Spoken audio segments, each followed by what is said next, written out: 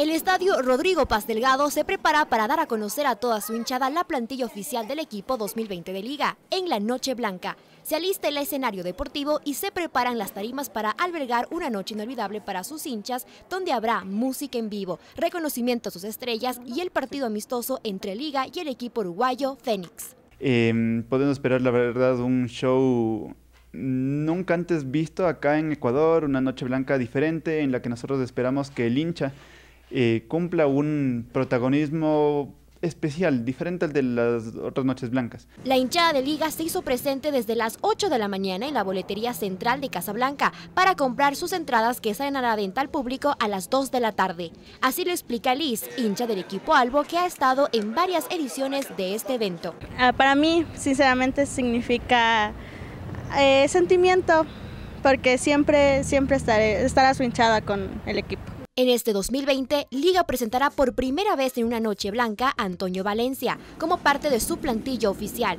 Este año, el equipo ha reforzado su plantilla con 10 nuevos fichajes para competir en la Liga Pro, Supercopa y Copa Libertadores de este año. Nombres como los de Marcos Caicedo, como los de Junior Sornosa, como los de los extranjeros Matías Zunino y Lucas Villarruel, traen consigo un armaje lleno de jerarquía para un equipo que está cartelado en el grupo más competitivo de la Libertadores.